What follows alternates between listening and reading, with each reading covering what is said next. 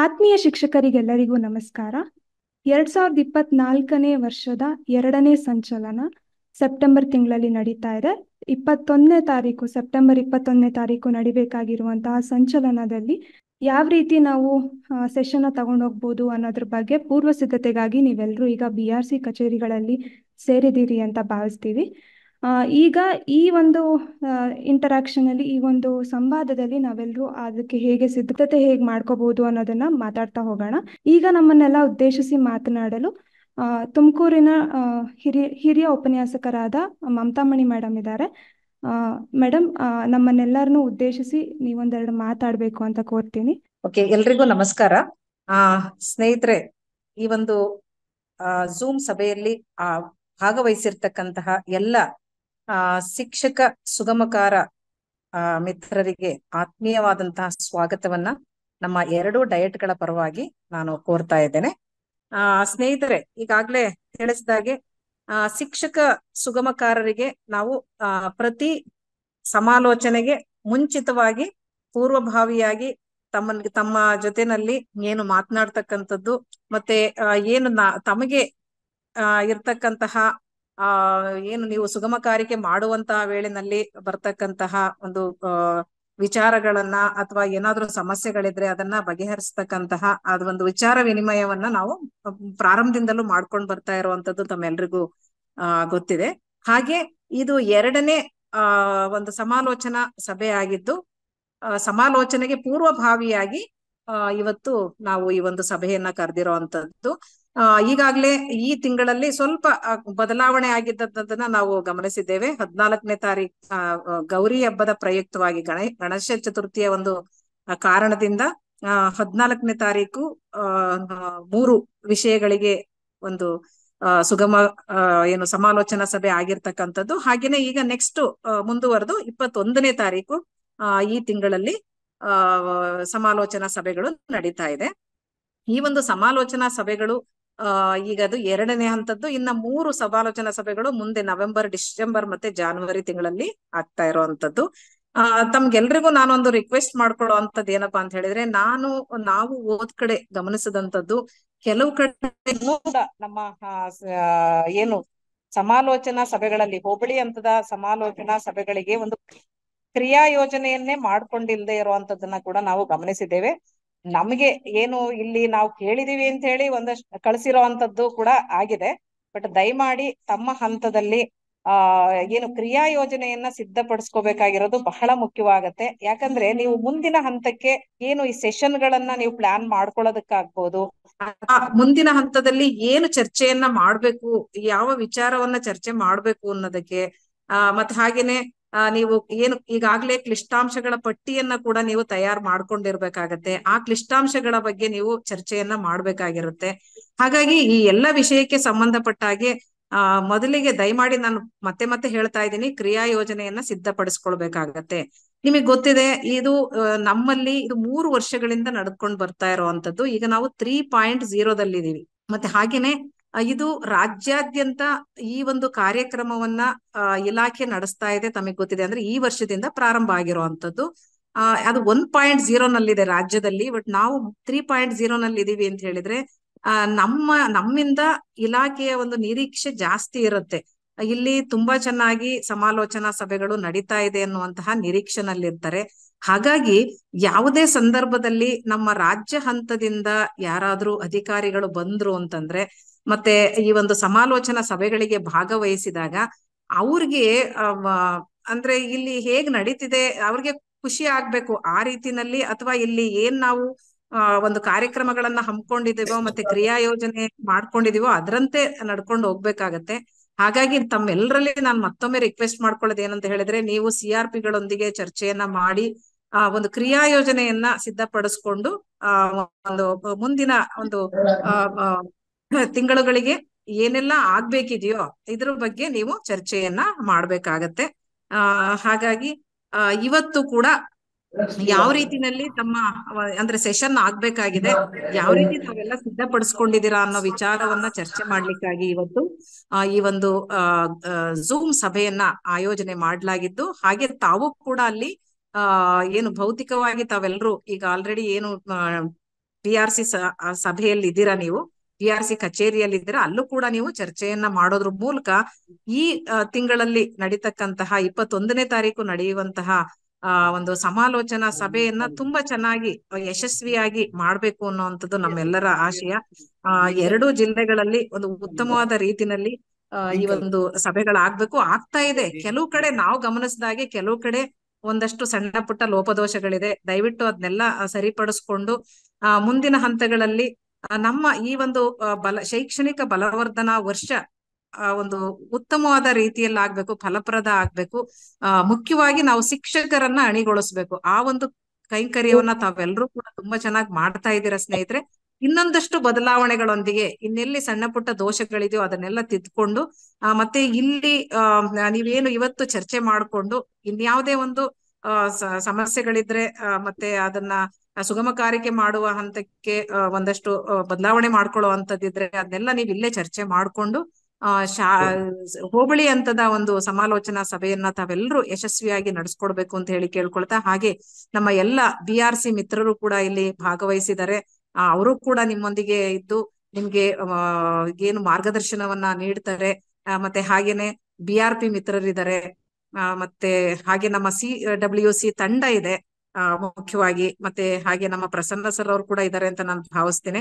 ಹಾಗೆ ಆಶಾ ಅವರು ಬೃಂದ ಅವರು ಎಲ್ಲರೂ ಇದ್ದಾರೆ ಎಲ್ರು, ಮತ್ತೆ ಅದ್ರ ಜೊತೆಗೆ ಸಂಪನ್ಮೂಲ ಸಿಕ್ ಸ್ನೇಹಿತರು ಕೂಡ ಇಲ್ಲಿ ಆಗಮಿಸಿದಿರ ತಾವೆಲ್ಲರೂ ಕೂಡ ಚರ್ಚೆ ಮಾಡಿ ಈ ಒಂದು ಆ, ಮುಂದೆ ನಡೀತಕ್ಕಂತಹ ಇಪ್ಪತ್ತೊಂದನೇ ತಾರೀಕು ನಡೀತಾ ಇರ್ತಕ್ಕಂತಹ ಸಮಾಲೋಚನಾ ಸಭೆಯನ್ನ ಯಶಸ್ವಿಗೊಳಿಸೋಣ ಅಂತ ಹೇಳಿ ಹೇಳ್ತಾ ನಾನು ನಮ್ಮ ಡಯಟ್ನ ಪ್ರಾಚಾರ್ಯರಾದಂತಹ ಮಂಜುನಾಥ್ ಸರ್ ಅವರ ಪರವಾಗಿ ಆ, ಶೈಕ್ಷಣಿಕ ಜಿಲ್ಲೆಯ ಪರವಾಗಿ ನಾನು ತಮ್ಮೆಲ್ಲರಿಗೂ ಕೂಡ ಆ ಮುಂದಿನ ಹಂತದ ಒಂದು ಆ, ಕಾರ್ಯಕ್ರಮ ಇದು ಸಮಾಲೋಚನಾ ಸಭೆಗಳು ಚೆನ್ನಾಗಿ ನಡಿಲಿ ನಡಿಲಿ ಅಂತ ಹೇಳಿ ಒಂದು ಆಶಯವನ್ನ ವ್ಯಕ್ತಪಡಿಸ್ತಾ ಆ ನನ್ನ ಒಂದೆರಡು ಮಾತುಗಳನ್ನ ಮುಗಿಸ್ತಾ ಇದ್ದೇನೆ.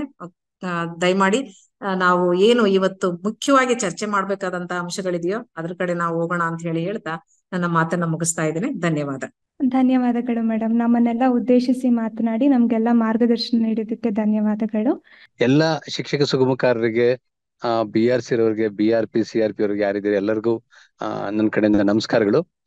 ಈಗ ತಾನೇ ಕಮಿಷನರ್ ಆಫೀಸ್ನಲ್ಲಿ ಮೇಡಮ್ ಮತ್ತೆ ಒಂದು ಮೀಟಿಂಗ್ನ, ಎಲ್ಲ ಡೈರೆಕ್ಟ್ ಪ್ರಾನ್ಸಿಪಲ್ ಮೀಟಿಂಗ್ನ ಮುಗಿಸ್ಕೊಂಡು ಬರ್ತಾ ಇದ್ದೀನಿ.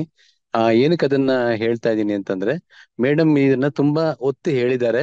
ಅಂದ್ರೆ ನಮ್ಮಲ್ಲಿ ನಡೀತಕ್ಕಂತ ಸಮಾಲೋಚನಾ ಸಭೆಗಳು ಮತ್ತೆ ಅದರಲ್ಲಿ ಡಯಟ್ನ ಕಾರ್ಯ, ಮತ್ತೆ ಬಿ ಆರ್ ಸಿ ಗಳ ಪಾತ್ರ ಹೇಗಿರ್ಬೇಕು ಯಾಕೆ ನಾವು ಅದನ್ನ ನಿರಂತರವಾದ ಬೆಂಬಲ ವ್ಯವಸ್ಥೆ ಶಿಕ್ಷಕರು ಕೊಡಬೇಕು ಅನ್ನೋ ನಿಟ್ಟಿನಲ್ಲಿ ಮತ್ತೆ ನಾವು ನಿಮಗೆ ಮಾಡಿದಂತ ಸುಗಮಕಾರರ ಕೈಪಿಡಿ ಮತ್ತೆ ಇದ್ರ ಬಗ್ಗೆ ಎಲ್ಲಾನು ಮಾತಾಡಿದಾರೆ ಮೇಡಮ್ ಈಗ. ಅಂದ್ರೆ ಉದ್ದೇಶ ಏನೋ ನಾವು ತುಂಬಾ ಏನೋ ಚೆನ್ನಾಗಿ ಮಾಡಿ ಅಲ್ಲಿ ಹೇಳಿದೀವಿ ಅಂತಲ್ಲ.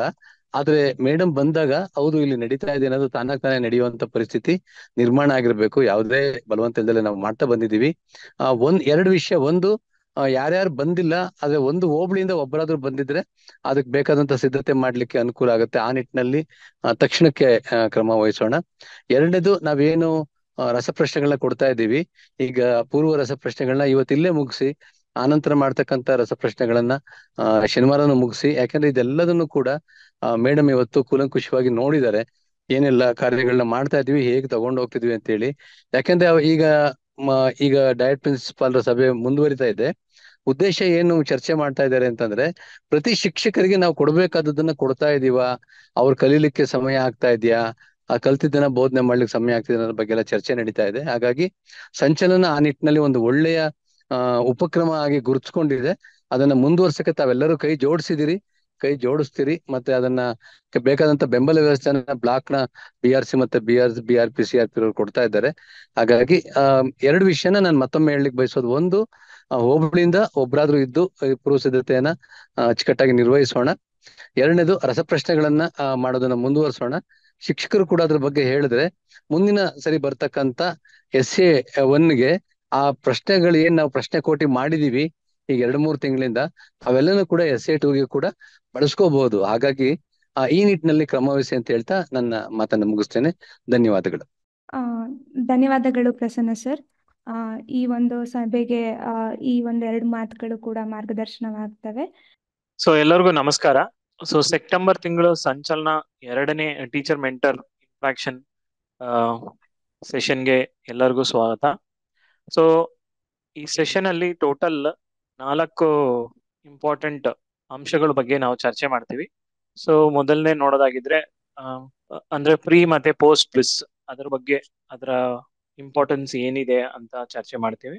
ಮತ್ತೆ ಅದಾದ ನಂತರ ಡಯಟ್ ರಿಸರ್ಚ್ ಸ್ಟಡಿ ಏನ್ ಮಾಡಿದ್ ಆಲ್ರೆಡಿ ಕಂಡಕ್ಟ್ ಮಾಡಿದೀವಿ ಒಂದಷ್ಟು ಶಾಲೆಗಳಲ್ಲಿ. ಸೊ ಅದ್ರ ಬಗ್ಗೆ ಚರ್ಚೆ ಮಾಡ್ತೀವಿ. ಮತ್ತೆ ಕೈಪಿಡಿಯ ಚಟುವಟಿಕೆ, ನಿಮ್ಗೆಲ್ಲ ಸಂಚಲನ ಬುಕ್ಲೆಟ್ ಕೊಟ್ಟಿದೀವಲ್ಲ, ಅದರಲ್ಲಿರುವ ಚಟುವಟಿಕೆಗಳು ಹೇಗೆ ಮಾಡೋದು ಅಂತ ಒಂದು ಬ್ರೀಫ್ ಆಗಿ ಚರ್ಚೆ ಮಾಡ್ತೀವಿ. ಸೊ ಈ ತಿಂಗಳು ಇವಾಗ ನೆಕ್ಸ್ಟ್ ಸೆಪ್ಟೆಂಬರ್ ಎಂಡ್ ಅಲ್ಲಿ ನೀವೆಲ್ಲ ಮೌಲ್ಯಮಾಪನ ಅಂದ್ರೆ ಅಸೆಸ್ಮೆಂಟ್ ಸಮೇಟಿವ್ ಅಸೆಸ್ಮೆಂಟ್ ಮಾಡ್ತಾ ಇರ್ತೀರಿ. ಸೊ ಅಸೆಸ್ಮೆಂಟ್ ಬಗ್ಗೆ ಒಂದು ಬ್ರೀಫ್ ಆಗಿ ಹೇಗೆ ಮಾಡಬಹುದು ಅಂತ ಈ ಈ ಈ ಸೆಷನ್ ಅಲ್ಲಿ ನೋಡೋಣ. ಸೊ ಮೊದಲಿಗೆ ಪೂರ್ವ ಮತ್ತು ನಂತರದ ರಸಪ್ರಶ್ನೆ, ಅದರ ಪ್ರಾಮುಖ್ಯತೆ, ಅಂದ್ರೆ ಇಂಪಾರ್ಟೆನ್ಸ್ ಏನು ಅಂತ ನೋಡೋಣ. ಸೊ ಇದರಲ್ಲಿ ಸ್ಟಾರ್ಟಿಂಗ್ ಅಲ್ಲಿ ಒಂದು ಪ್ರಶ್ನೆ. ಇವಾಗ ಓದ ಸಂಚಲನದಲ್ಲಿ ನಿಮ್ಗೆ ಪ್ರೀ ಮತ್ತೆ ಪೋಸ್ಟ್ ಕ್ವಿಸ್ ಎಲ್ಲರೂ ಅಟೆಂಡ್ ಮಾಡಿದ್ರಿ. ಸೊ ಅದರಲ್ಲಿ ಯಾವ ಬ್ಲಾಕ್ ಟೀಚರ್ಸ್ ಹೆಚ್ಚಿಗೆ ಅಟೆಂಡ್ ಮಾಡಿದ್ದಾರೆ ಪೋಸ್ಟ್ ಕ್ವಿಸ್ ಹೆಚ್ಚಿಗೆ ಅಟೆಂಡ್ ಮಾಡಿದ್ದಾರೆ ಅಂತ. ಸೊ ಗ್ರಾಫ್ ನೋಡೋದಾಗೆ ಈ ರೀತಿ ಇದೆ. ಪೋಸ್ಟ್ ಕ್ವಿಸ್ ಅಲ್ಲಿ ಪೋಸ್ಟ್ ಮತ್ತೆ ಪ್ರೀ ಕ್ವಿಸ್ ಕ್ವಿಸ್ ಅಲ್ಲಿ ಟೀಚರ್ಸ್ ಮತ್ತೆ ಟೀಚರ್ ಮೆಂಟರ್ದು ಸಂಖ್ಯೆಗಳು ಎಷ್ಟು ಜನ ಅಟೆಂಡ್ ಮಾಡಿದ್ದಾರೆ ಅಂತ.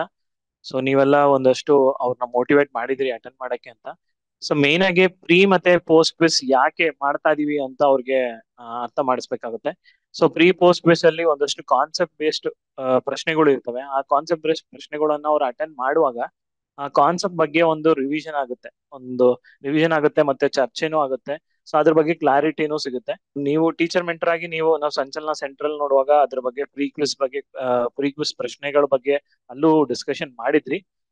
ನಾವ್ ಇಲ್ಲಿ ಗ್ರಾಫ್ ನೋಡುವಾಗ ಇಲ್ಲಿ ಪೋಸ್ಟ್ ಕ್ವಿಸ್ ಅಲ್ಲಿ ತುಂಬಾ ಕಡಿಮೆ ಟೀಚರ್ಸ್ ಅಟೆಂಡ್ ಮಾಡಿದ್ದಾರೆ. ಪ್ರೀನ ನೋಡುವಾಗ ಬ್ಲೂ ಕಲರ್ ಮತ್ತೆ ರೆಡ್ ಕಲರ್ ನೋಡುವಾಗ. ಸೊ ಯಾಕಂದ್ರೆ ಪೋಸ್ಟ್ ಕ್ವಿಸ್ ಬಂದ್ಬಿಟ್ಟು ಅಲ್ಲೇ ನೀವು ಸಂಚಲನ ಸೆಂಟ್ರಲ್ ಮಧ್ಯಾಹ್ನದೊಳಗೆ ಬರೋ ಒಂದು ಟ್ವೆಲ್ ಓ ಕ್ಲಾಕ್ ನಿಮ್ಗೆಲ್ಲ ಕಳಿಸ್ತೀವಿ. ಅವಾಗ ಅದನ್ನ ಬೇಗ ನೀವು ಅಲ್ಲೇ ಚರ್ಚೆ ಮಾಡಿ ಡಿಸ್ಕಸ್ ಮಾಡಿ ಅಲ್ಲೇ ಅಟೆಂಡ್ ಮಾಡಿದ್ರೆ ಸೊ ಈ ನಂಬರ್ಸ್ ಜಾಸ್ತಿ ಆಗುತ್ತೆ. ಸೊ ಈ ನಂಬರ್ ನೋಡುವಾಗ ಅವ್ರಿಗೆ ಆ ಕಾನ್ಸೆಪ್ಟ್ ಏನಿದೆಯಲ್ಲ ಅದು ಅರ್ಥ ಆಗಿದೆಯಾ ಇಲ್ವಾ ಅಂತ ನಾವು ನೋಡಕ್ಕೆ ಇದು ಉಪಯೋಗ ಆಗುತ್ತೆ. ಸೊ ಇದರ ಬಗ್ಗೆ ಒಂದು ಸ್ವಲ್ಪ ಹೆಚ್ಚಿನ ಒತ್ತನ್ನು ಕೊಟ್ಟು ಅವ್ರಿಗೆ ಡಿಸ್ಕಸ್ ನಿಮ್ಮ ಸಂಚಲನ ಸೆಂಟರ್ ಅಲ್ಲಿ ಡಿಸ್ಕಸ್ ಮಾಡಿಸಿ. ಮತ್ತೆ ಇದರಲ್ಲಿ ಒಂದಷ್ಟು ಟೀಚರ್ಸ್ ಔಟ್ ಆಫ್ ಔಟ್ ಅಂದ್ರೆ ಹತ್ತು ಮಾರ್ಕ್ಸ್ಗೆ ಹತ್ತು ಮಾರ್ಕ್ಸ್ ತಗೊಂಡಿದ್ದಾರೆ. ಅವರ ಹೆಸರನ್ನು ಇಲ್ಲಿ ತೋರಿಸ್ತಾ ಇದೀವಿ. ಸೊ ಇವ್ರಿಗೆ ನಮ್ ಕಡೆಯಿಂದ congratulation for all the teachers so ಎಲ್ಲಾ ಬ್ಲಾಕ್ ಇಂದನೂ ಟೀಚರ್ ಟೀಚರ್ಸ್ಗಳು ಇದ್ದಾರೆ ಅವ್ರ ಹೆಸರಿನಲ್ಲಿ ಸಿಎನ್ ಸಿ ಎನ್ ಅಲ್ಲಿ ತಿಪ್ಟೂರಿಂದ ಎರಡು, ಕುಣಿಗಲ್, ಮಧುಗಿರಿ, ಗುಬ್ಬಿ, ತುರುವೇಕೆರೆ ಮತ್ತೆ ತುಮಕೂರು.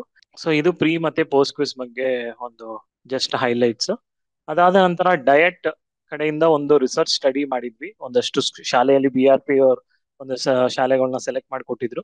ಆ ಶಾಲೆಗಳಲ್ಲಿ ನಾವು ಒಂದಷ್ಟು ಎಕ್ಸಾಮ್ಗಳನ್ನ ಮಾಡಿದ್ವಿ. ಆ ಎಕ್ಸಾಮ್ ಅಲ್ಲಿ ಓವರ್ ಆಲ್ ಅದು ರಿಸಲ್ಟ್ ಬಗ್ಗೆ ಒಂದು ಇಲ್ಲೊಂದು ಗ್ರಾಫ್ ನಿಮ್ಗೆ ತೋರಿಸ್ತಾ ಇದೀವಿ. ಸೊ ಇದ್ರ ಬಗ್ಗೆ ಡೀಟೇಲ್ ಪ್ರೆಸೆಂಟೇಶನ್ ಡಯಟ್ ಇಂದ ಮಾಡ್ತಾರೆ. ಇವಾಗ ನಾವು ಗಣಿತವನ್ನು ನೋಡುವಾಗ ನೀವು ನೋಡ್ಬೋದು ನಾಲ್ಕನೇ ತರಗತಿ ಐದು ಮತ್ತೆ ಆರು ಮತ್ತೆ ಏಳನೇ ತರಗತಿಯಲ್ಲಿ ಯಾವ ತರ ವಿದ್ಯಾರ್ಥಿಗಳು ಪರ್ಫಾರ್ಮ್ ಮಾಡಿದ್ದಾರೆ ಅಂತ.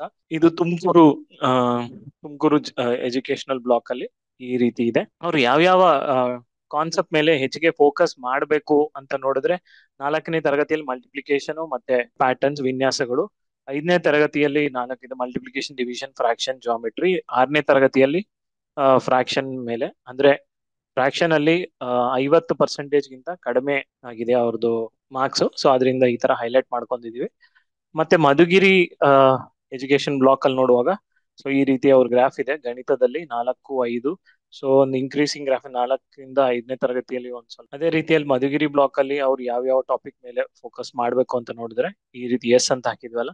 ಸೊ ಒಟ್ಟಾರು ಈ ಗ್ರಾಫ್ ಅನ್ನು ನೋಡುವಾಗ ಅವರು ಮೇನ್ ಆಗಿ ಡಿವಿಷನ್ ಭಾಗಾಕಾರ ಮಾಡೋದು, ಮತ್ತೆ ಗುಣಾಕಾರ ಮಲ್ಟಿಪ್ಲಿಕೇಶನ್ ಮತ್ತೆ ಫ್ರಾಕ್ಷನ್ ಭಿನ್ನ ರಾಶಿಗಳು, ಮತ್ತೆ ಜಾಮೆಟ್ರಿ ಸೊ ಈ ತರ ಟಾಪಿಕ್ ಅಲ್ಲಿ ಒಂದ್ ಸ್ವಲ್ಪ ಹೆಚ್ಚಿಗೆ ಅವರು ಫೋಕಸ್ ಮಾಡ್ಬೇಕಾಗತ್ತೆ. ಸೊ ಇದಾದ ನಂತರ ಡಯಟ್ ಅವರು ಫೆಬ್ರವರಿಯಲ್ಲಿ ಇನ್ನೊಂದು ಎಂಡ್ ಲೈನ್ ಟೆಸ್ಟ್ ಮಾಡ್ತಾರೆ. ಆ ಟೆಸ್ಟ್ ಮಾಡುವಾಗ ಈ, ಈಗ ಈ ಟಾಪಿಕ್ ಮೇಲೆ ನಾವು ಫೋಕಸ್ ಮಾಡಿದ್ರೆ ಅವ್ರಿಗೆ ಪರ್ಸೆಂಟೇಜು ಜಾಸ್ತಿ ಆಗಕ್ಕೆ ಚಾನ್ಸ್ ಇದೆ. ಅದಕ್ಕೂ ನೀವು ಒಂದು ಸ್ವಲ್ಪ ಸ್ಟ್ರೆಸ್ ಕೊಟ್ಟು ನಿಮ್ಮ ಸಂಚಲನ ಸೆಂಟರ್ಸ್ ಅಲ್ಲಿ ಮೆಂಟರ್ಸ್ ಆಗಿ ನೀವು ಟೀಚರ್ಸ್ಗೆ ಹೇಳ್ಬೋದು. ಈ ರೀತಿ ಟಾಪಿಕ್ಸ್ ಕಾನ್ಸೆಪ್ಟ್ ಅಲ್ಲಿ ಅವ್ರು ಒಂದ್ ಸ್ವಲ್ಪ ಕಡಿಮೆ ಅಂಕೆಯನ್ನು ತಗೊಂಡಿದ್ದಾರೆ ಸೊ ಅದ್ರ ಮೇಲೆ ಸ್ವಲ್ಪ ಹೆಚ್ಚಿನ ಒತ್ತನ್ನು ಕೊಡಬೇಕು ಅಂತ. ಮೂರನೇ ವಿಷಯ ನೋಡೋದಾಗಿದ್ರೆ, ಇವಾಗ ಸಂಚಲನ ಬುಕ್ಲೆಟ್ ಎಲ್ಲರಿಗೂ ಕೊಟ್ಟಿದೀವಿ. ಆ ಸಂಚಲನ ಬುಕ್ಲೆಟ್ ಅಲ್ಲಿ ಒಂದಷ್ಟು ವಿಷಯಗಳು ಇದಾವೆ ಆಕ್ಟಿವಿಟೀಸ್ಗಳು, ಚಟುವಟಿಕೆಗಳು ಇದಾವೆ. ಸೊ ಆ ಆಕ್ಟಿವಿಟೀಸ್ನ ಹೇಗೆ ಮಾಡೋದು ಅಂತ ನೋಡೋಣ. ಮೊದಲನೇದಾಗಿ ಕೆಲವೊಂದು ಒಗಟುಗಳು ಪಜಲ್ಸ್ ಅನ್ನ ಕೇಳ್ಬಹುದು ಯಾವ ರೀತಿ ಅಂತಂದ್ರೆ, ಒಂದು ಕೋಡಿಂಗ್ ಇರುವಂತಹ ಒಂದು ಪಜಲ್ ನೋಡೋದಿದ್ರೆ, ಈ ರೀತಿ ಪ್ರಶ್ನೆಯನ್ನ ಮುಂದೆ ಇಡುವಂತದ್ದು ಇವೆಲ್ಲ ಈ ಒಗಟುಗಳು ಏನ ಮೋಜಿನ ಆಟಗಳ ತರ, ಅಥವಾ ಒಂದು ಐಸ್ ಬ್ರೇಕಿಂಗ್ ಆಕ್ಟಿವಿಟಿ ತರ ಕೂಡ ಕೂಡ ಇದನ್ನ ಬಳಸಬಹುದು ಇದನ್ನ ನೋಡಿದಾಗ ಇದನ್ನ ಓದಿ ಅಂತ ಹೇಳುವಂತದ್ದು ಇಲ್ಲಿ ಸಂಖ್ಯೆಗಳಿದಾವೆ, ಹಾಗೆ ಕೂಡ ಇಂಗ್ಲಿಶಿನ ಲೆಟರ್ಸ್ ಕೂಡ ಇಲ್ಲಿ ನಾವು ನೋಡ್ಬೋದು. ಇದನ್ನ ಓದ್ಲಿಕ್ಕೆ ಸ್ವಲ್ಪ ತ್ರಾಸ ಆಗುತ್ತೆ. ಹಾಗೆ ನಾವು ಅದನ್ನ ಹೇಗ್ ಓದ್ಬೋದು ಅಂತಂದ್ರೆ, ಈಗ ಸೆವೆನ್ ಹೆಚ್ ಒನ್ ಫೈವ್ ಅನ್ನುವಂಥದ್ದು ದಿಸ್ ಅಂತ ಹೇಳ್ಬೋದು. ಹಾಗೆ M three double five four G three ಅನ್ನೋದು ಮೆಸೇಜ್ ಅಂತ ಹೇಳ್ಬೋದು. ಅಂದ್ರೆ ಒಂದೊಂದು ಸಂಖ್ಯೆಗೆ ಇರುವಂತ ಒಂದೊಂದು ಅಂಕೆಗೆ ಒಂದು ಇಂಗ್ಲಿಷ್ ಅಲ್ಫಾಬೆಟ್ ಲಿಂಕ್ ಆಗ್ತಾ ಹೋಗುವಂಥದ್ದು. ಈ ರೀತಿಯಾದಂತಹ ಒಂದು ಚಟುವಟಿಕೆ ಫನ್ ಪಜಲ್ ಕೈಪಿಡಿಯಲ್ಲಿದೆ. ಅದನ್ನ ಪೂರ್ತಿ ನಿಮ್ಗೆ ಇದು ಅರ್ಧ ತೋರಿಸಿದೀವಿ ಇಲ್ಲಿ. ಅದು ಪೂರ್ತಿ ಬೇಕು ಅಂತಂದ್ರೆ ನೀವು ಕ್ಯೂ ಕ್ಯೂ ಆರ್ ಕೋಡ್ ಅನ್ನ ಬಳಸ್ಕೊಂಡು ಸ್ಕ್ಯಾನ್ ಮಾಡಿ ಪೂರ್ತಿಯಾದಂತಹ ಒಂದು ಪಜಲ್ ಅನ್ನ ನೋಡಬಹುದು ಮತ್ತೊಂದು ಒಗಟು, ಒಂದು ಸಣ್ಣದಾದಂತಹ ಪ್ರಶ್ನೆ. ಏನು ಅಂತಂದ್ರೆ ಶಿಕ್ಷಕರೊಬ್ಬರು ಏಳ್ನೂರ ಎಪ್ಪತ್ತೇಳು ಮತ್ತು ಎಂಟುನೂರ ಎಂಬತ್ತೆಂಟು ಚಾಕ್ಲೇಟ್ಗಳನ್ನು ಅನುಕ್ರಮವಾಗಿ ಇಪ್ಪತ್ತೊಂದು ಮತ್ತು ಇಪ್ಪತ್ನಾಲ್ಕು ವಿದ್ಯಾರ್ಥಿಗಳಿಗೆ ಸಮನಾಗಿ ವಿತರಿಸಲು ಬಯಸಿ, ಬಯಸಿದರು. ಪ್ರತಿ ವಿದ್ಯಾರ್ಥಿಗೆ ಎಷ್ಟು ಚಾಕ್ಲೇಟ್ಗಳು ಸಿಗುತ್ತವೆ ಎನ್ನುವಂಥದ್ದು ಪ್ರಶ್ನೆ ಆಗುತ್ತೆ. ಇದರಲ್ಲಿ ಯಾವುದಾದ್ರೂ ವಿನ್ಯಾಸ ಗಮನಿಸಿದ್ದೀರಾ ಎನ್ನುವಂಥದ್ದನ್ನು ಕೇಳ್ಬೋದು. ಪ್ರತಿಯೊಂದು ಸ್ಟೂಡೆಂಟ್ಸಿಗೆ ಯಾವ ರೀತಿ ಚಾಕ್, ಎಷ್ಟೆಷ್ಟು ಬರುತ್ತೆ ಚಾಕ್ಲೇಟ್ ನೋಡ್ತಾ ಹೋದ್ರೆ ಸಾಲ್ವ್ ಮಾಡುವಂಥದ್ದು. ಆರ್ನೂರ ಅರವತ್ತಾರು ಹಿಂದ್ಗಡೆನೂ ಕೂಡ. ಅಂದ್ರೆ ಮೇನ್ ಆಗಿ ಏಳ್ನೂರ ಎಪ್ಪತ್ತೇಳು ಡಿವೈಡೆಡ್ ಬೈ ಇಪ್ಪತ್ತೊಂದು ಮಾಡಿದ್ರು ಮೂವತ್ತೇಳು ಸಿಗುತ್ತೆ. ಅದ್ರ ಹಿಂದಿನ ಸಂಖ್ಯೆ ಆರು ಆರು ಆರು ತಗೊಂಡ್ರು ಡಿವೈಡೆಡ್ ಬೈ ಹದಿನೆಂಟು. ಅಂದರೆ ಮೂರರ ಒಂದು ಮಲ್ಟಿಪಲ್ ನೋಡಿದ್ರೆ, ಇಪ್ಪತ್ತೊಂದು, ಮೂರ್ ಏಳು, ಇಪ್ಪತ್ತೊಂದು, ಮೂರ್ ಆರ್ಲಿ ಹದಿನೆಂಟು, ಹಾಗೆ ಎಂಟುನೂರ ಎಂಬತ್ತೆಂಟು ಡಿವೈಡೆಡ್ ಬೈ ಇಪ್ಪತ್ನಾಲ್ಕು. ಅಂದ್ರೆ ಏನು ಒಂದು ವಿದ್ಯಾರ್ಥಿಗಳ ಸಂಖ್ಯೆ ಇದೆಯೋ ಅದು ಮೂರರ ಮಲ್ಟಿಪಲ್ ಆಗಿದೆ. ಹಾಗೆ ಸಂಖ್ಯೆಗಳು ಒಂದೇ ಅಂಕಿಯ ಒಂದು ಅಂಕಿಗಳು ರಿಪೀಟ್ ಆಗ್ತಾ ಹೋಗ್ತಾ ಇದೆ. ಆರು ಆರು ಆರು, ಏಳು ಏಳು ಏಳು, ಎಂಟು ಎಂಟು ಎಂಟು ಒಂಬತ್ತು ಒಂಬತ್ತು ಒಂಬತ್ತು ಡಿವೈಡೆಡ್ ಬೈ ಇಪ್ಪತ್ತೇಳು ತಗೊಳ್ಬೇಕು. ಇಲ್ಲಿ ನಮಗೆ ಭಾಗಲಬ್ಧ ಏನಾಗುತ್ತೆ ಅಂದ್ರೆ ಮೂವತ್ತೇಳು ಸಿಗ್ತಾ ಹೋಗುತ್ತೆ. ಸೊ ಈ ರೀತಿಯಾದಂತಹ ಒಂದು ಐಸ್ ಬ್ರೇಕಿಂಗ್ ಆಕ್ಟಿವಿಟಿ ಅಥವಾ ಮೋಜಿನ ಬಜಲ್ ಕೂಡ ನೋಡ್ಬೋದು. ಕೇಳ್ಬೋದು ಐನೂರ ಐವತ್ತೈದು ಡಿವೈಡೆಡ್ ಬೈ ಎಷ್ಟು ಮಾಡಿದ್ರೆ ಮೂವತ್ತೇಳು ಸಿಗುತ್ತೆ ಅಂತ. ಡಿವೈಡೆಡ್ ಬೈ ಫಿಫ್ಟೀನ್ ಮಾಡಿದ್ರೆ ನಮಗೆ ಮೂವತ್ತೇಳು ಸಿಗುತ್ತೆ. ಸೊ ಈ ರೀತಿಯಾದಂತ ಒಂದು ಸಣ್ಣ ಆಕ್ಟಿವಿಟಿ ಸ್ಟಾರ್ಟಿಂಗ್ ಅಲ್ಲಿ ಮಾಡಿಸ್ಬೋದು.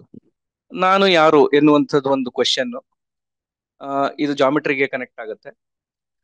ನಾನು ನಾಲ್ಕು ಬಾಹುಗ, ಬಾಹುಗಳುಳ್ಳ ಆವೃತ ಆಕೃತಿ. ನಾನು ಎಲ್ಲಾ ಬಾಹು, ನನ್ನ ಎಲ್ಲಾ ಬಾಹುಗಳು ಮತ್ತು ಕೋನಗಳು ವಿಭಿನ್ನವಾಗಿವೆ. ನನಗೆ ಎರಡು ಹೆಸರುಗಳಿವೆ. ಅವು ಯಾವುವು ಎನ್ನುವಂಥದ್ದು. ಹೆಸರನ್ನ ಕಂಡುಹಿಡಿಯುವಂತ ಆಕ್ಟಿವಿಟಿ ಆಗುತ್ತೆ. ಸೊ ಯಾವುವು ಅಂತ ನೋಡಿದ್ರೆ ಒಂದು, ನೀವು ಚಾಟ್ ಬಾಕ್ಸ್ ಅಲ್ಲಿ ಆನ್ಸರ್ ಹೇಳಲಿಕ್ಕೆ ಟ್ರೈ ಮಾಡಿ. ಇದು, ಇದಕ್ಕೆ ಆನ್ಸರ್ ಏನಾಗ್ಬೋದು. ಸೊ ಉತ್ತರ ನೋಡದಿದ್ರೆ, ಆ, ನೀವೆಲ್ಲ ಹೇಳ್ದ ಹಾಗೆ ಉತ್ತರ ಒಂದು ಕ್ವಾಡ್ರಿಲ್ಯಾಟ್ರಲ್ ಅಥವಾ ಚತುರ್ಭುಜ ಕರೆಕ್ಟ್ ಮತ್ತೊಂದು ತ್ರಾಪಿಜ್ಯ. ಸರಿಯಾದ ಉತ್ತರ ಅಂತ ಹೇಳ್ಬೋದು. ಈಗ ಚಟುವಟಿಕೆಗಳನ್ನ ನೋಡೋಣ. ತರಗತಿವಾರು ಚಟುವಟಿಕೆಗಳು ಕೈಪಿಡಿಯಲ್ಲಿ ಏನಿದೆಯೋ ಆ ಚಟುವಟಿಕೆಗಳನ್ನ ನೋಡ್ತಾ ಹೋಗೋಣ. ತರಗತಿ ನಾಲ್ಕು ಭಾಗಾಕಾರ ಅಧ್ಯಾಯಕ್ಕೆ ಸಂಬಂಧಪಟ್ಟಿರುವಂತಹ ಒಂದು ಚಟುವಟಿಕೆ, ಬೇಕಾಗಿರುವಂತಹ ಸಾಮಗ್ರಿಗಳು, ಹಾಳೆ, ಬೆಂಕಿ ಕಡ್ಡಿಗಳು, ರಬ್ಬರ್ ಬ್ಯಾಂಡ್ಗಳು, ಸ್ಕೆಚ್ ಪೆನ್ಗಳು, ಕ್ರಿಯಾನ್ಗಳು, ಪೆನ್ಸಿಲ್ಗಳು, ಇವೆಲ್ಲ ಸಾಮಗ್ರಿಗಳು ಬೇಕಾಗುತ್ತವೆ. ಇದನ್ನ ನಾವು ವಿಡಿಯೋ ಕೂಡ ಮಾಡಿದೀವಿ ಹೇಗೆ ಆಕ್ಟಿವಿಟಿ ಮಾಡ್ಬೋದು ಅಂತ. ವಿಡಿಯೋ ನೋಡೋಣ, ನೋಡ್ತಾ ಎಕ್ಸ್ಪ್ಲನೇಷನ್ಸ್ ಕೂಡ ನೋಡ್ಬೋದು. ಬೆಂಕಿ ಕಡ್ಡಿಗಳು ರಬ್ಬರ್ ಬ್ಯಾಂಡ್ ಪೆನ್ಸಿಲ್ಗಳು ಅದನ್ನೆಲ್ಲ ತಗೊಂಡಿದೀವಿ ಬೇಕಾಗಿರುವಂತಹ ಸಾಮಗ್ರಿಗಳನ್ನ ತಗೊಂಡು ಒಂದು ಹಾಳೆಯಲ್ಲಿ ಎರಡು ಅಂಕಿಯ ಸಂಖ್ಯೆಗಳನ್ನ ಬರ್ಕೊಳ್ಳೋಣ ಆ ಎರಡು ಅಂಕಿ ಸಂಖ್ಯೆಗಳನ್ನ, ಒಂದು ಹತ್ತಾರು ಸಂಖ್ಯೆಗಳನ್ನ ಬರ್ಕೊಂಡು ಒಂದು ಸಂಖ್ಯೆಯನ್ನ ನಾವು ಕನ್ಸಿಡರ್ ಮಾಡೋಣ. ಮತ್ತೊಂದು ಹಾಳೆ ತಗೊಳ್ಳೋಣ. ಅದರೊಳಗೆ ಒಂದು ಅಂಕಿಯ ಸಂಖ್ಯೆಗಳನ್ನ ಬರ್ಕೊಳ್ಳೋಣ ಅದರಲ್ಲಿ ಒಂದು ಅಂಕಿಯನ್ನ ನಾವು, ಒಂದು ಸಂಖ್ಯೆಯನ್ನ ನಾವು ಪರಿಗಣಿಸೋಣ. ಆಯ್ಕೆ ಮಾಡ್ಕೊಳ್ಳೋಣ. ಎರಡು ಅಂಕಿ ಸಂಖ್ಯೆಯನ್ನ ನಾವು ಏನು ಪರಿಗಣಿಸಿದ್ವು? ಅಂದ್ರೆ ಇದು ತೋರಿಸಿರೋ ಹಾಗೆ ಇಪ್ಪತ್ತೆರಡನ್ನ ನಾವು ಸೆಲೆಕ್ಟ್ ಮಾಡ್ಕೊಂಡಿದ್ದೇವೆ. ಇಪ್ಪತ್ತೆರಡು ಬೆಂಕಿ ಕಡ್ಡಿಗಳನ್ನ ನಾವು ತಗೊಳ್ಳೋಣ. ಇಪ್ಪತ್ತೆರಡು ಬೆಂಕಿ ಕಡ್ಡಿಗಳನ್ನ ತಗೊಂಡು ಒಂದು ಅಂಕಿ ಸಂಖ್ಯೆಗಳನ್ನ ನಾವು ಏನ್ ತಗೊಂಡಿದೀವೋ ಅಂದ್ರೆ ಪ್ರತಿ ಮೂರು ಬೆಂಕಿ ಕಡ್ಡಿಗಳ ಗುಂಪಿಗೆ ಒಂದು ರಬ್ಬರ್ ಬ್ಯಾಂಡ್ ಅನ್ನ ಹಾಕ್ತಾ ಬರುವಂತದ್ದು ಸೊ ಪ್ರತಿಯೊಂದು ಗುಂಪಿನಲ್ಲೂ ಮೂರು ಮೂರು ಬೆಂಕಿ ಕಡ್ಡಿಗಳು ಇರುತ್ತವೆ. ಈ ರೀತಿ ಎಷ್ಟು ಗುಂಪಾಗಿದೆ ಎನ್ನುವಂಥದ್ದು ನಾವು ನೋಡಬೇಕಾಗುತ್ತೆ ಆಕ್ಟಿವಿಟಿ ಕೊನೆಯಲ್ಲಿ. ಬೆಂಕಿ ಕಡ್ಡಿಯ ಗುಂಪುಗಳನ್ನ ಎಣಿಸಿದರೆ ನಮಗೆ ಏಳು ಬೆಂಕಿ ಕಡ್ಡಿಗಳು ನಮಗೆ ಸಿಗುತ್ತೆ. ಸೊ ಇಲ್ಲಿ ಏಳು ಬೆಂಕಿ ಕಡ್ಡಿಗಳು ಮುಗಿದೋದ್ಮೇಲೆ ಒಂದು ಸಿಂಗಲ್ ಒಂದು ಬೆಂಕಿ ಹಾಗೆ ಉಳ್ಕೊಂಡಿರುತ್ತೆ. ನಾವು ತಗೊಂಡಿರುವಂತಹ ಎಲ್ಲ ಪರಿಗಣಿಸಿರುವಂತ ಅಂದ್ರೆ ಎರಡು ಅಂಕಿಯ ಸಂಖ್ಯೆ ನಾವು ಏನ್ ತಗೊಂಡಿದ್ವೋ ಇಪ್ಪತ್ತೆರಡು ಅಷ್ಟು ಬೆಂಕಿ ಕಡ್ಡಿಗಳನ್ನ ಪರಿಗಣಿಸಿದ್ವಿ. ಅದು ಭಾಜ್ಯ ಅಂತ ನಾವು ತಗೊಳ್ಬಹುದು ಹಾಗೆಯೇ ಒಂದು ಅಂಕಿ ಸಂಖ್ಯೆ ಅಂದ್ರೆ ಮೂರು ನಮಗೆ ಇಲ್ಲಿ ಭಾಜಕವಾಗಿರುತ್ತೆ ಡಿವೈಸರ್ ಆಗಿರುತ್ತೆ. ಉಳಿದಿರುವಂತ ಟೋಟಲ್ ಗುಂಪುಗಳು ಎಷ್ಟಾದವು ಅಂತ ನೋಡಿದ್ರೆ ಅದು ನಮಗೆ ಭಾಗಲಬ್ಧವಾಗಿರುತ್ತೆ. ಏಳು ನಮಗೆ ಭಾಗಲಬ್ಧ. ಹಾಗೆ ಒಂದು ಸಿಂಗಲ್ ಬೆಂಕಿ ಕಡ್ಡಿ ಉಳಿದೋಯ್ತು, ಅದು ಲೆಫ್ಟ್ ಔಟ್ ಆಗಿರುವಂತದ್ದು. ಅದನ್ನ ನಾವು ಶೇಷ ಅಥವಾ ರಿಮೈಂಡರ್ ಅಂತ ಹೇಳ್ಬೋದು. ಹಾಗೆ ಕೊನೆಯದಾಗಿ ಒಂದು ಸೂತ್ರ, ಒಂದು ಡಿವಿಷನಿನ ಸೂತ್ರವನ್ನ ಭಾಗಾಕಾರದ ಸೂತ್ರವನ್ನು ಕೂಡ ತಿಳಿ ಹೇಳ್ಬೋದು. ಭಾಜ್ಯ ಇಸ್ ಈಕ್ವಲ್ ಟು ಭಾಜಕ ಇಂಟು ಭಾಗಲಬ್ಧ ಪ್ಲಸ್ ಶೇಷ ಎನ್ನುವಂಥದ್ದು ಅರೈವ್ ಮಾಡ್ಬೋದು. ಸೊ ಈ ಒಂದು ಬೆಂಕಿ ಕಡ್ಡಿಯ ಒಂದು ಸಿಂಪಲ್ ಆಕ್ಟಿವಿಟಿ ಮಾಡಿಸ್ಬೋದು ತರಗತಿ ನಾಲ್ಕಕ್ಕೆ. ಎಲ್ಲ ಸಾಮಗ್ರಿಗಳನ್ನ ಬಳಸ್ಕೊಂಡು ತರಗತಿ ಆರರ ಪೂರ್ಣಾಂಕಗಳ ಸಂಖ್ಯಾ ರೇಖೆಯ ಚಟುವಟಿಕೆಯನ್ನ ನೋಡೋಣ.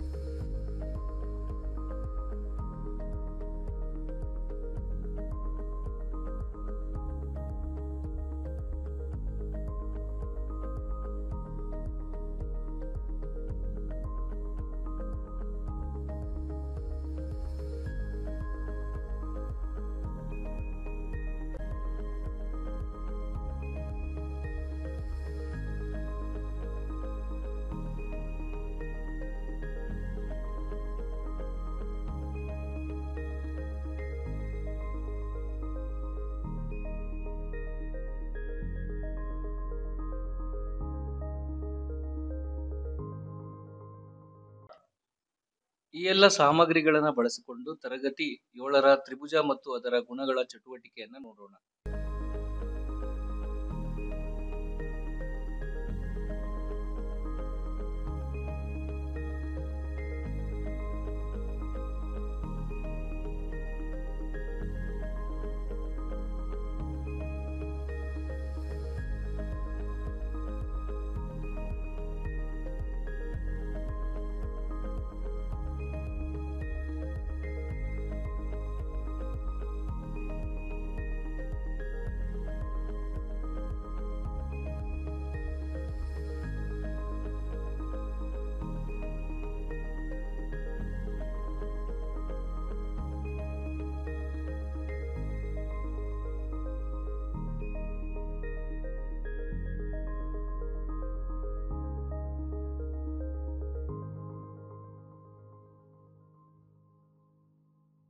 ಓಕೆ ನೆಕ್ಸ್ಟ್ ಇಲ್ಲಿ ನಿಮ್ಗೆ ಹ್ಯಾಂಡ್ ಬುಕ್ ಅಲ್ಲಿ ಕೊಟ್ಟಿದೀವಿ ಟೀಚ್ ಒಂದಷ್ಟು ಟಿ ಎಲ್ಗಳು.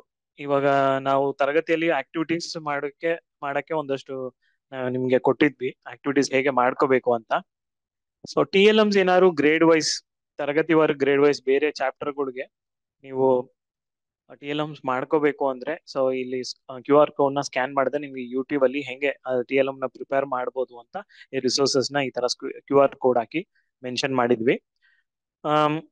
ಮತ್ತೆ ಒಂದಷ್ಟು ಪ್ರಶ್ನೆಗಳು ವರ್ಡ್ ಪ್ರಾಬ್ಲಮ್ಸ್ ಪದರೂಪದ ಪ್ರಶ್ನೆಗಳನ್ನು ಇದು ಸಂಚಲನ ಹ್ಯಾಂಡ್ ಬುಕ್ ಅಲ್ಲಿ ಕೊಟ್ಟಿದ್ವಿ. ಸೊ ಗ್ರೇಡ್ ವೈಸ್ ಇವಾಗ ಗ್ರೇಡ್ ಡಿವಿಷನ್ ಅಲ್ಲಿ ಒಂದು ಪ್ರಶ್ನೆಯನ್ನು ಹಾಕೊಂಡಿದೀವಿ. ಸೊ ಆ ಪ್ರಶ್ನೆನ ನೀವು ಸಂಚಲನ ಸೆಂಟರ್ ಅಲ್ಲಿ ಡಿಸ್ಕಸ್ ಮಾಡಿಸಿ ಡಿಸ್ಕಸ್ ಮಾಡಿ ಅವರ, ಅವರಲ್ಲಿ ಏನ್ ಪ್ರಶ್ನೆ, ಉತ್ತರ ಬರುತ್ತೆ ಅಂತ ಸಾಲ್ವ್ ಮಾಡ್ಲಿಕ್ಕೆ ಹೇಳಿ. ಸೊ ಅದಕ್ಕೋಸ್ಕರ ಪ್ರತಿ ಒಂದು ಟಾಪಿಕ್ ಮೇಲೂ ಒಂದು ಪ್ರಶ್ನೆಗಳನ್ನ ಹಾಕಿದ್ವಿ. ಮಲ್ಟಿಪ್ಲಿಕೇಶನ್ ಆಗಿರ್ಲಿ ಇಂಟೀಜರ್ಸ್ ಮತ್ತೆ ಟ್ರಾ ಮತ್ತೆ ಟ್ರಯಾಂಗಲ್ ಅಂಡ್ ಇಟ್ಸ್ ಪ್ರಾಪರ್ಟೀಸ್ ಅದ್ರ ಮೇಲೂ ಒಂದು ಪ್ರಶ್ನೆ ಹಾಕಿದ್ವಿ. ಸೊ ಈ ಪ್ರಶ್ನೆಗೆನೆ ಒಂದು ನಿಮ್ ಪ್ರಾಬ್ಲಮ್ ಆಗಿತ್ತು. ಎಂಬತ್ತು ಮತ್ತೆ ಮೂವತ್ತು ಮೀಟರ್ ಇತ್ತು. ಸೊ ಉಳಿದಿರುವ ಎಷ್ಟು, ಅವರು ಎಷ್ಟು ಫೆನ್ಸಿಂಗ್ ವೈರ್ ಎಷ್ಟು ತಗೋಬೇಕು? Maximum length of fencing wire that the farmer must purchase to fence is field so total ಆ ಟ್ರಯಾಂಗ್ಯುಲರ್ ಫೀಲ್ಡ್ನ ಫೆನ್ಸ್ ಮಾಡ್ಬೇಕಂದ್ರೆ ಎಷ್ಟು ಬೇಕು ಅಂತ. ಸೊ ಅವರೆಲ್ಲ ಟೋಟಲ್ ಮಾಡ್ಬೇಕಾಗುತ್ತೆ ಎಂಬತ್ತು, ಮೂವತ್ತು, ಮತ್ತೆ ನೂರ ಹತ್ತು ಎರಡನ್ನು ಮೂರ್ ಟೋಟಲ್ ಮಾಡುವಾಗ ಇನ್ನೂರ ಇಪ್ಪತ್ತು ಅಂತ ಆಪ್ಷನ್ ಅಲ್ಲಿ ಕೊಟ್ಟಿದೀವಿ ಸೊ ಈ ತರ ಪ್ರಶ್ನೆಗಳನ್ನು ನೀವು ನಿಮ್ಮ ಸಂಚಲನ ಸೆಂಟರ್ ಅಲ್ಲಿ ಡಿಸ್ಕಸ್ ಮಾಡಿ, ಅದನ್ನ ಸಾಲ್ವ್ ಮಾಡ್ಲಿಕ್ಕೆ ಹೇಳ್ಬೋದು. ಇದಾದ ನಂತರ ನೆಕ್ಸ್ಟ್ ನಾಲ್ಕನೇ ಕಾನ್ಸೆಪ್ಟ್ ಏನು ಅಂತ, ನಾಲ್ಕನೇ ಟಾಪಿಕ್ ಏನು ಅಂತ ನೋಡಿದ್ರೆ ಅಸೆಸ್ಮೆಂಟ್ ಸೊ ಇವಾಗ ಎಲ್ಲರೂ ಆಲ್ರೆಡಿ ಇವಾಗ ರಿವಿಷನ್ ಮಾಡ್ತಾ ಇರ್ತೀರಿ, ಮತ್ತೆ ಅಸೆಸ್ಮೆಂಟ್ಗೆಲ್ಲ ತಯಾರಿಗಳು ಮಾಡ್, ಮಾಡ್ಕೊಂತ ಇದ್ದೀರಿ ಅಂತ ಅನ್ಕೋತಾ ಇದೀವಿ ಸೊ ಇವಾಗ ಎಲ್ಲರಿಗೂ ಸಮೇಟಿವ್ ಅಸೆಸ್ಮೆಂಟ್ ಬರ್ತಾ ಇರುತ್ತೆ. ಸೊ ಅಸೆಸ್ಮೆಂಟ್ ಅಂದ್ರೆ ಏನು ಅಂತ ಒಂದ್ ಜಸ್ಟ್ ಒಂದ್ ಸಣ್ಣ ಒಂದು ಡೆಫಿನಿಷನ್ ಇಲ್ಲಿ ಹಾಕಿದ್ವಿ. ಸೊ ನಾವ್ ಏನ್ ಮಾಡಿದ್ವಿ? ಅಸೆಸ್ಮೆಂಟ್ ಅಲ್ಲಿ ಒಂದಷ್ಟು ಫಾರ್ಮೇಟಿವ್ ಮತ್ತೆ ಸಮೇಟಿವ್ ಅಸೆಸ್ಮೆಂಟ್ ಮಾಡ್ತೇವೆ ಏನಕ್ಕೆ ಅಸೆಸ್ಮೆಂಟ್ ಮಾಡ್ಬೇಕು? ಇವಾಗ ನಾವ್ ಏನ್ ಇವಾಗ ನಾವು ಪಾಠ ಮಾಡ್ತಾ ಇರ್ತೀವಿ, ಅವ್ರಿಗೆ ಹೇಳ್ಕೊಡ್ತಾ ಇರ್ತೀವಿ. ಪಾಠ ಮಾಡಿರೋದು ಅವ್ರಿಗೆ ಎಷ್ಟು ಮಟ್ಟಿಗೆ ವಿದ್ಯಾರ್ಥಿಗಳಿಗೆ ಅರ್ಥವಾಗಿದೆ? ಅನ್ನೋದನ್ನ ನಾವು ನಮ್ಗೆ ಗೊತ್ತಾಗ್ಬೇಕು. ಟೀಚರ್ಸ್ ಗಳಿಗೆ ಗೊತ್ತಾಗ್ಬೇಕಾಗತ್ತೆ.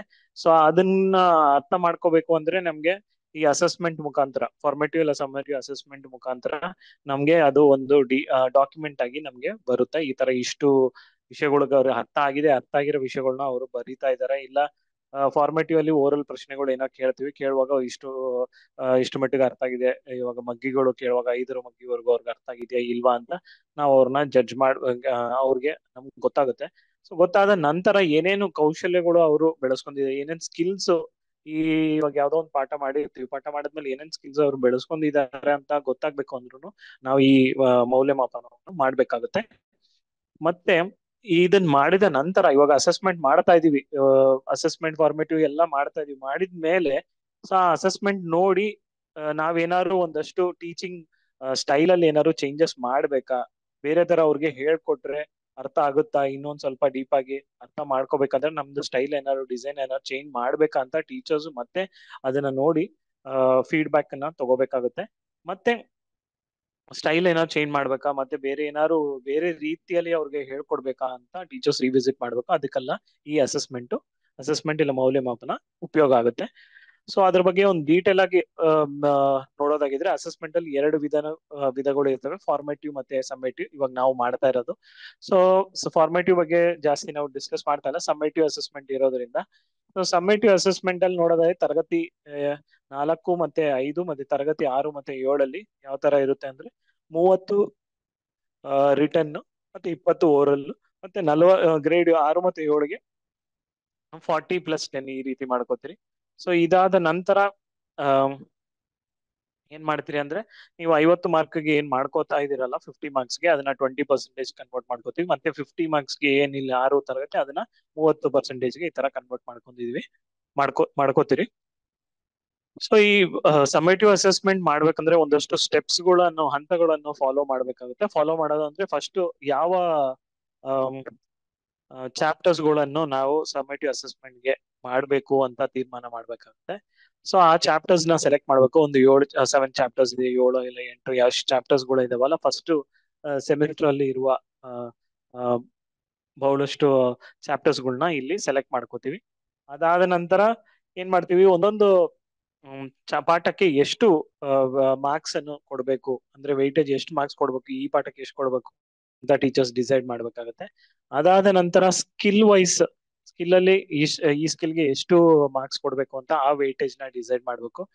ಇದೆಲ್ಲ ಡಿಸೈಡ್ ಮಾಡಿದ ನಂತರ ಅವ್ರ ಏನ್ ಮಾಡಿದ್ರು ಟೀಚರ್ಸ್ ಬ್ಲೂ ಪ್ರಿಂಟ್ನ ಕ್ರಿಯೇಟ್ ಮಾಡಿದ್ರಿ ಬ್ಲೂ ಪ್ರಿಂಟ್ ಕ್ರಿಯೇಟ್ ಮಾಡಿದ ನಂತರ ಕ್ವೆಶನ್ ಇಲ್ಲೊಂದು ಟಾಪಿಕ್ ಕ್ವೆಶನ್ ಬ್ಯಾಂಕ್ನ ಬ್ಲೂ ಪ್ರಿಂಟ್ ಕ್ರಿಯೇಟ್ ಮಾಡಿದ್ಮೇಲೆ ನೀವು ಒಂದು ಕ್ವೆಶನ್ ಬ್ಯಾಂಕ್ನ ಕ್ರಿಯೇಟ್ ಮಾಡಿ ಇಟ್ಕೋಬಹುದು ಚಾಪ್ಟರ್ ವೈಸ್ ಒಂದು ಕ್ವೆಶನ್ ಬ್ಯಾಂಕ್ ಕ್ರಿಯೇಟ್ ಮಾಡಿ, ಅದಾದ ನಂತರ ನಾವು ಕ್ವೆಶನ್ ಪೇಪರ್ನ ಕ್ರಿಯೇಷನ್ ಮಾಡಿ ಕ್ವೆಶನ್ ಪೇಪರ್ ಕ್ರಿಯೇಷನ್ ಮಾಡಿದ ನಂತರ ಅದಕ್ಕೆ ಆನ್ಸರ್ ಕೀ ಕ್ರಿಯೇಟ್ ಮಾಡ್ಬೇಕು. ಆನ್ಸರ್ ಕ್ರಿಯೇಟ್ ಕ್ರಿಯೇಟ್ ಮಾಡಿದ್ಮೇಲೆ ಕ್ವೆಶನ್ ಪೇಪರ್ ಅನಾಲಿಸಿಸ್ ಸೊ ಈ ರೀತಿ ಹಂತ ಹಂತವಾಗಿ ನಾವು ಸಮೇಟಿವ್ ಅಸೆಸ್ಮೆಂಟ್ ಕ್ವೆಶನ್ ಪೇಪರ್ನ ಕ್ರಿಯೇಟ್ ಮಾಡಕ್ಕೆ ಒಂದು, ಒಂದಷ್ಟು ಸಜೆಸ್ಟಿವ್ ಸ್ಟೆಪ್ಸ್ ಗಳನ್ನ ನಾವು ಇಲ್ಲಿ ಹಾಕಿದ್ವಿ. ಸೊ ಇದನ್ನೆಲ್ಲ ನೀವು ಫಾಲೋ ಮಾಡ್ತಾ ಇದ್ದೀರಿ ಅಂತ ಗೊತ್ತಾ ಇದೀವಿ ಸೊ ಇದನ್ನು ನೀವೇ ನಿಮ್ಮ ಸಂಚಲನ ಸೆಂಟರ್ಸ್ ಅಲ್ಲಿ ಇದ್ರ ಬಗ್ಗೆ ಚರ್ಚೆ ಮಾಡಿ, ಅದರ ಡಿಸ್ಕಷನ್ ಮಾಡಿ, ಅವರಿಗೆ ಒಂದು ಟೀಚರ್ಸ್ಗೆ ಕ್ಲಾರಿಟಿಯನ್ನ ನೀವು ಹೆಚ್ಚಿಗೆ ಕೊಡ್ಬೋದು. ಇವಾಗ ಕ್ವೆಶ್ಚನ್ ಪೇಪರ್ ಅನ್ನು ಕ್ರಿಯೇಟ್ ಮಾಡುವಾಗ ಕ್ವೆಶನ್ಸ್ನ, ಪ್ರಶ್ನೆಗಳನ್ನ ಯಾವ ರೀತಿ ನಾವು ತಯಾರಿ ಮಾಡಬೇಕು ಪ್ರಿಪೇರ್ ಮಾಡಬೇಕು ಅಂತ ನೋಡಿದ್ರೆ ಸೊ ಮೇನ್ ಆಗಿ ಇವಾಗ ಮೂರು ಡೊಮೈನ್ ಮೇಲೆ ನಾಲೆಜ್ ಅಂಡರ್ಸ್ಟ್ಯಾಂಡ್ ಮತ್ತೆ application so knowledge level question ಅಂದ್ರೆ ಏನು? ಅಂತ ಇವಾಗ ಒಂದು ಉದಾಹರಣೆಗೆ ಇಂಟೀಜರ್ಸ್ ಅಂತ ಒಂದು ಟಾಪಿಕ್ ಅನ್ನು ತಗೋ ಅದ್ರಲ್ಲಿ ನಾಲೆಜ್ ಲೆವೆಲ್ ಕ್ವೆಶ್ಚನ್ ಅಂದ್ರೆ ಇಂಟೀಜರ್ಸ್ ನಂಬರ್ ಲೈನ್ ಅಂತ ಒಂದು ಟಾಪಿಕ್ ಹೊಂದಿದ್ವಿ ಅದರಲ್ಲಿ mark minus four and seven on the number line so ಇವಾಗ ಒಂದು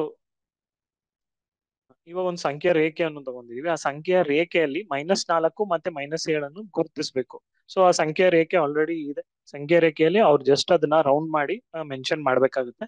ಸೊ ಇದನ್ನ simple knowledge level easy knowledge level question ಅಂತ ನಾವು ಪರಿಗಣಿಸಬಹುದು ಸೊ ಇದೇ ಸಂಖ್ಯಾ ರೇಖೆ ಮೇಲೆ ಒಂದು ಅಂಡರ್ಸ್ಟ್ಯಾಂಡ್ ಲೆವೆಲ್ ಅಂದ್ರೆ ತಿಳುವಳಿಕೆ ಅಲ್ಲಿ ಒಂದು ಪ್ರಶ್ನೆನ ಹೇಗೆ ನಾವು ರಚನೆ ಮಾಡ್ಬೋದು ಕ್ರಿಯೇಟ್ ಮಾಡ್ಬೋದು ಅಂತ ನೋಡಿದ್ರೆ ಸೊ ಇಲ್ಲಿ ಸಾಲ್ವ್ ಮೈನಸ್ ಹನ್ನೊಂದು ಪ್ಲಸ್ ಪ್ಲಸ್ ಮೂರು ಇದನ್ನ ಸಂಖ್ಯಾ ರೇಖೆಯಲ್ಲಿ ನೀವು ಪರಿಹರಿಸಿ ಅಂತ ಕೊಡುವಾಗ ಸಂಖ್ಯಾ ರೇಖೆ ಅನ್ನೋದು ಮೇನ್ ಕಾನ್ಸೆಪ್ಟ್ ಆಗಿರುತ್ತೆ. ಅದ್ರ ಮೇಲೆ ನಾವು ಅಲ್ಲಿ ಗುರುತಿಸ್ತಾ ಇದೀವಿ ಜಸ್ಟ್ ಅದನ್ನ, ಆ ನಂಬರ್ನ ಹಾಕ್ತಾ ಇದೀವಿ ಮೈನಸ್ ಲೆವೆನ್ ಮೈನಸ್ ಮೂರು ಅಂತ ಒಂದು ನಂಬರ್ನ ಅಲ್ಲಿ ಜಸ್ಟ್ ರೆಪ್ರೆಸೆಂಟ್ ಮಾಡ್ತಾ ಇದೀವಿ ತಿಳುವಳಿಕೆ ಲೆವೆಲ್ ಅಲ್ಲಿ ಏನ್ ಮಾಡ್ತಾ ಇದೀವಿ ಒಂದು ಲೆವೆಲ್ ಮೇಲೆ ಹೋಗಿ ಅದನ್ನ ಸಾಲ್ವ್ ಮಾಡಕ್ಕೆ ಟ್ರೈ ಮಾಡ್ತಾ ಇದೀವಿ.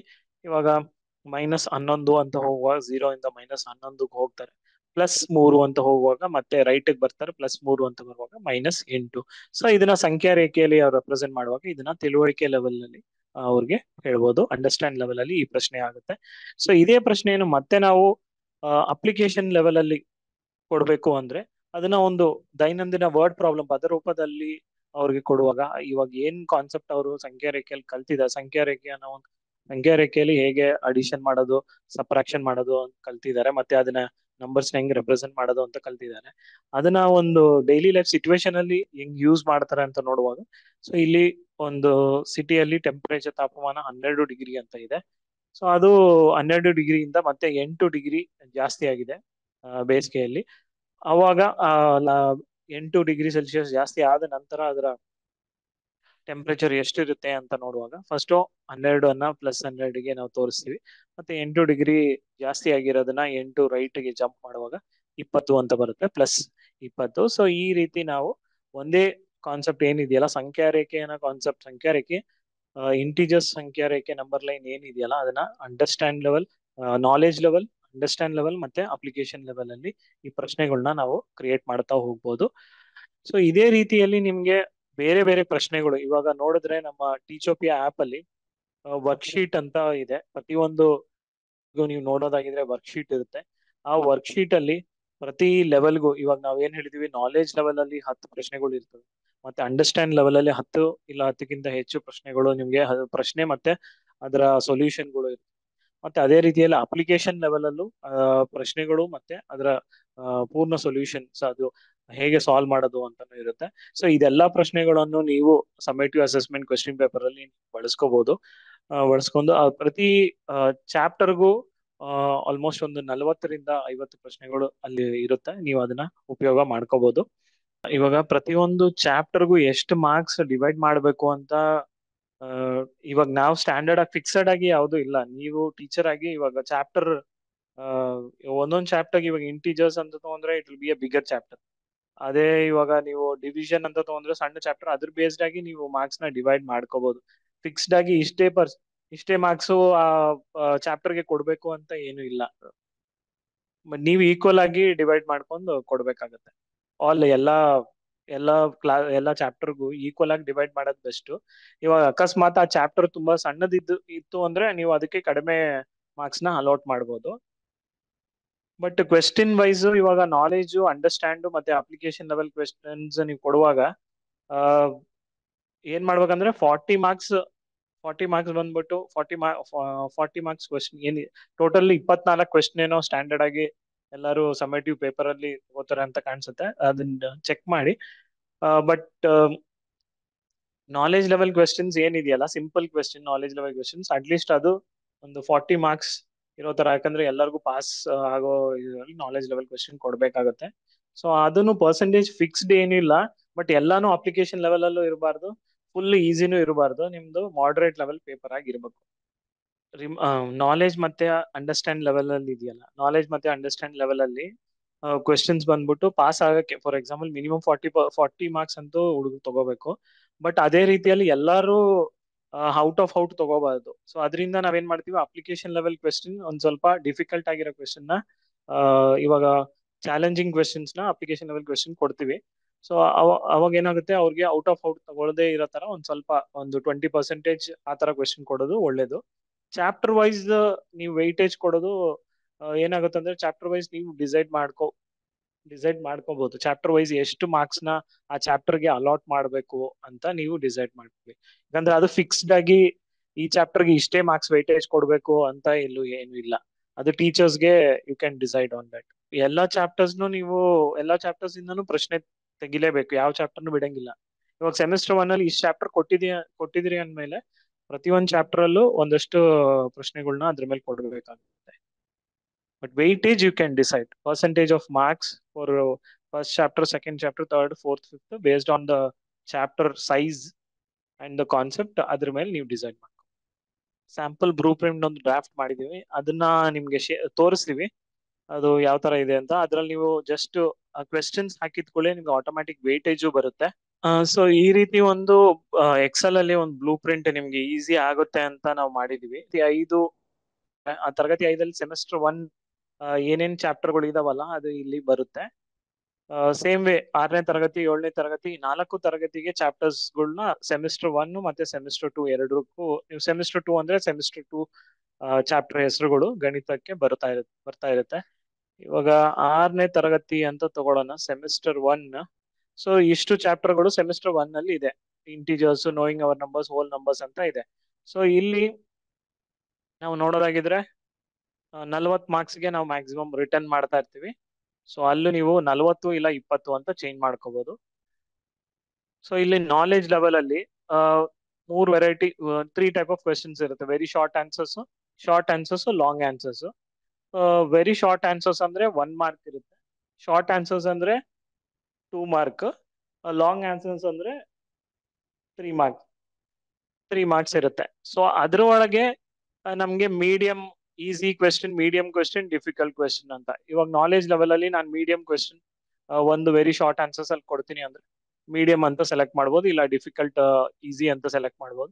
ಅದ್ರ ಬೇಸ್ಡ್ ಆಗಿ ಏನಾಗುತ್ತೆ, ಇಲ್ಲಿ ನಿಮ್ಗೆ ಟೋಟಲ್ ಕ್ವೆಶನ್ಸ್ ಇವಾಗ ಐದನೇ ತರಗತಿಯಲ್ಲಿ ಐದು ಕ್ವೆಶನ್ಸ್ ಕೊಟ್ಟಿದ್ದೀನಿ. ಎಷ್ಟು ಮಾರ್ಕ್ ಆಗಿದೆ ಟೋಟಲ್ ಮಾರ್ಕ್ಸ್ ಎಷ್ಟಾಗಿದೆ ಅಂತ ನಮ್ಗೆ ಇಲ್ಲಿ ಆಟೋಮ್ಯಾಟಿಕ್ ಇಲ್ಲಿ ಬರುತ್ತೆ.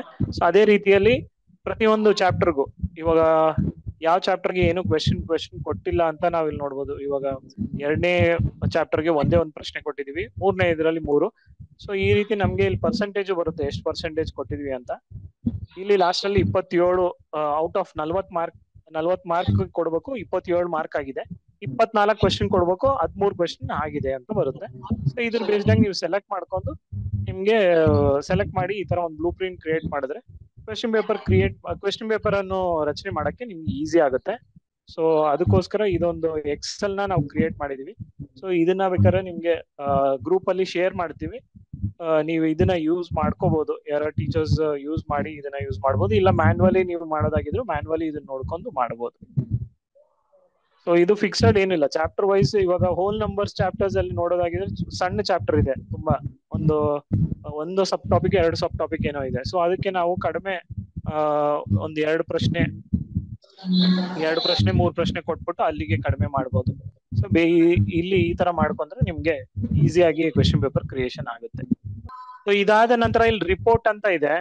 ಸೊ ರಿಪೋರ್ಟ್ ಅಲ್ಲೂ ಇವಾಗ ಚಾಪ್ಟರ್ ವೈಸ್ ನಿಮ್ಗೆ ರಿಪೋರ್ಟ್ ಬರುತ್ತೆ. ಇವಾಗ ಚಾಪ್ಟರ್ ವೈಸ್ ಎಷ್ಟು ಕ್ವೆಶನ್ಸ್ ಆಗಿದೆ, ಎಷ್ಟು ಮಾರ್ಕ್ಸ್ ಎಷ್ಟು ಪರ್ಸೆಂಟೇಜ್ ಅಂತ.